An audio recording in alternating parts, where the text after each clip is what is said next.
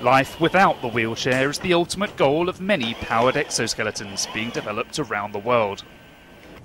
But a team from Italy says this isn't yet viable.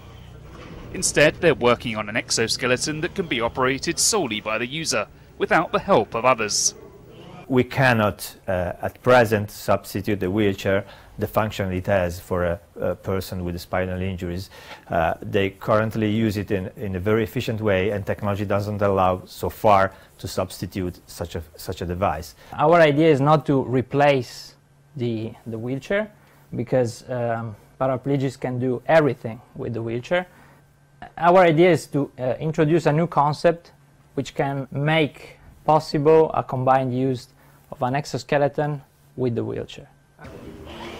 There are two electric motors on each leg, one at the knee and one at the hip.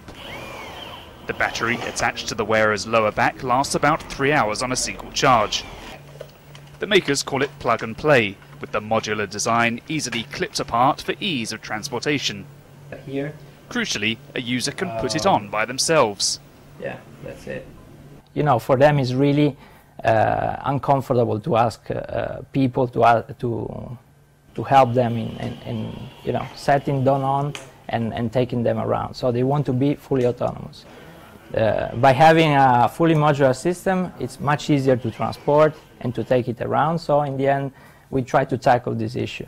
Set the parameters. The team hopes it will eventually help wheelchair users complete everyday tasks independently, like reaching for items in the kitchen or using the toilet unaided. Initial tests have been encouraging. A number of clinical trials are planned this year to further optimize its design before commercialization.